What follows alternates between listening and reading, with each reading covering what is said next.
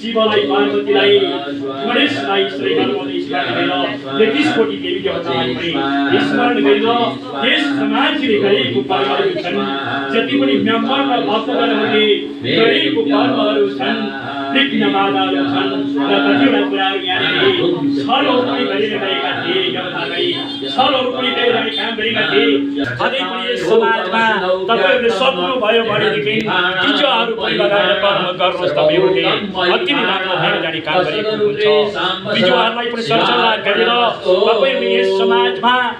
मन्डन गरेर यस समाजलाई बन्धन गरेर जाने काम गर्नुहोस् तपाईँहरूलाई अति नै शुभ मङ्गल भएर जाने काम गरेको हुन्छ सम्राटका अठासी ऋषि मुनिहरूले श्री जहिले तहिले मेरो तपस्या गर्थे। नदीको तिरमा जान्थे। नदीको तिरमा गएर शिलामा गएर पूजा र पाठ मात्रै गर्थे। शरीर ढाक्ने वस्त्रहरू पनि थिएनन् र शरीर ढाक्ने वस्त्रहरू पनि नहुँदाखेरि सालको पत्ताको वस्त्र बनाएर देवी देवतालाई यही नै नमन गरेर नमस्कार गरेर यो चरणमा छौँ यो दरबारमा छौँ। यो स्थानमा छौँ भगवान्लाई हामीले बारम्बार भन्ने काम गरेका छौँ। अनि नारायण भगवान् देवतालाई यही भन्छौँ यस समाजमा श्री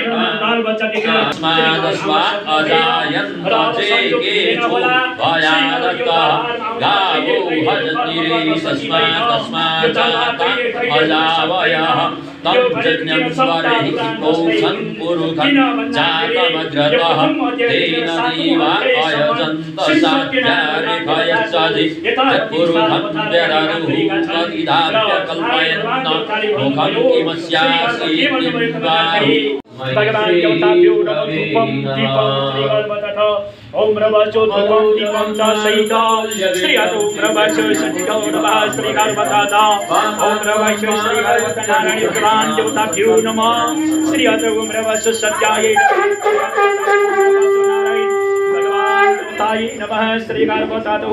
नारायण भगवान् देवताभ्यो नमः। श्री नमश्चो सत्यो श्री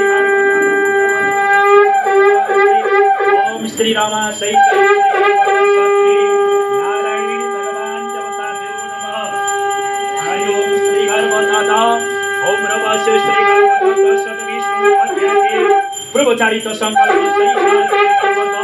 सत्यनारायण भगवान देवताभ्यो नमः नव दुर्गा देवी देवता चण्डिका देवी देवता तारा माताई नमः माताई नमः श्री गणपतथ श्री आवहि तो निज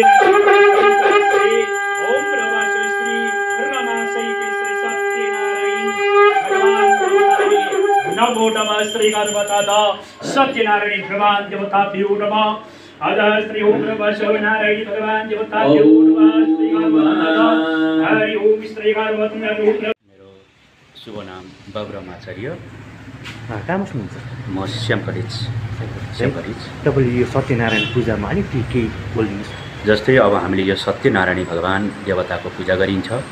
अब यो पूजा जस्तो अब घरमा अथवा समाज घरमा हामीले यो पूजा गरेर सबै परिवार अथवा भक्तजनलाई जति पनि नारायणी भगवान् देवताको पूजा र पाठ गरेको हुनाले गर्दाखेरि हाम्रो घरमा पनि सुख शान्ति समृद्धि अनि जति पनि हामीले आँटेको कुराहरूलाई जुन भाकलहरू छ तिनलाई पनि सिद्ध हुनको निमित्त अनि हामीले यस नारायणी भगवान् देवताको जहिले पनि गर्न सकिन्छ जुन महिनामा नि गर्न सकिन्छ उहाँको ज्ञानले गर्दाखेरि अब खासमा किनभने सप्त प्राण पनि भनिन्छ नारायण भगवान् देवतालाई र नारायण भगवान् देवताको किनभने अब जुन तल्लो स्तरकोले पनि गर्न सकिन्छ र घरमा पनि गर्न सकिन्छ जहाँ पनि गर्न सकिन्छ र नारायण भगवान् देवताको चाहिँ किन भन्दाखेरि जुन आफ्नो इच्छाले व्रत बस्ने काम गरेको हुन्छ। त्यो व्रतले नै श्रीगरम विघ्न बाधालाई हरण गरेर जाने काम गरिएको हुन्छ। अनि नारायण भगवान् देवताहरूले चाहिँ सबै समाज गाउँ घरलाई पनि उहाँले नै रक्षा र कल्याण गरेर जाने काम गरेको हुन्छ। अनि त्यही कारणले यस समाजमा यस भवनमा चाहिँ श्री सत्यनारायण भगवान् देवताको पूजा र पाठ गरेर समाजलाई जुन मनआकाङ्क्षालाई पनि पूर्ण गर्नको निमित्त चाहिँ नारायणी भगवान् देवताको पूजा र पाठ गरिन्छ। कति दिन गरिन्छ यो पूजा? कति बजीदेखि स्टार्ट हुन्छ? यो पूजा भोलि अब साढे नौ बजीबाट सुरु हुन्छ र एकै दिनमा सकिन्छ अनि साढे चार पाँच बजी सकिन्छ। भक्तजनहरूलाई चाहिँ अब यही नै भन्न चाहन्छौँ कि र उहाँहरूले पनि जति पनि यहाँनिर आएर जस्तो पूजामा आएर व्रत बस्नुहुन्छ र पूजाको जुन फुल पुष्प लिएर आएर अक्षताहरू लिएर आएर र फलप्रसादी ल्याएर यहाँनिर चढाउनु भयो भने पनि र जति पनि भक्तजनलाई कल्याण शुभकामना पनि दिएर जाने काम गर्नुहुन्छ। नमस्कार। हामी पञ्चशील सेवा सङ्घ दार्जिलिङ तर्फबाट बोल्दैछौँ र तपाईँहरूलाई आज एक दुईवटा कुरा गर्न लागिरहेको छु। विशेष हामीले गत पाँच अनि छ दुई हजार बाइस अप्रिलमा एउटा ग्याप्से पूजा छजना ला लाम- लामहरू लगाएर गरेको थियौँ। यो विश्व शान्ति पूजा झिङ्सा पूजा किन गऱ्यौँ त भन्ने प्रश्न एउटा सबैमा जिज्ञासा हुन्छ। र विशेष हामी पञ्चशीलका एक्जिक्युटिभ सबैले सोचेर एउटा विश्व शान्ति पूजा गर्न जमक्क गऱ्यौँ। यसमा विशेष चाहिँ कोरोना कालमा कतिपय मान्छेहरू कतिजना बि बिमारीहरू भन्यो कतिजना यस्तै अकाल मृत्यु पनि भयो। कतिजनाले शान्ति पनि पाएन होला। कतिजनाले त्यस्तै प्रकारको कतिपय फिल्महरूले नै अब विशेष चाहिँ भनौँ कोरोना कालको कुरा गरौँ र हामीले यसमा यस शान्ति पूजा र अहिलेको यस घडीमा विश्वमा अनेक किसिमको झगडा अझै अनेक किसिमको झमेला तपाईँहरू सबैले टिभीमा देखिरहनु भएको छ। र हामीको इच्छा छ यसले केही शान्ति हुन्छ कि? गाउँमा शान्ति हुन्छ गाउँमा त बजार शान्ति हुन्छ कि भन्ने एउटा ध्येय लिएर हामीले आज पूजा गऱ्यौँ। यसमा गाउँ समाजको सबैको सहयोग लिएर यसमा पूजा गऱ्यौँ यो पञ्चशील सेवा सङ्घको। अनि अर्को अर्को पूजा अस्तिको पूजा थियो हामी लामाहरूद्वारा छजना लामाहरूद्वारा गऱ्यौँ। त्यस्तै प्रकारले आज हामीले पण्डितजी बाहुनबागबाट पनि ओम श्री सत्य नारायण पूजा विश्व शान्ति पूजा गरिरहेको छौँ। यो पनि यही हो विश्वमा कसरी शान्ति ल्याउने त?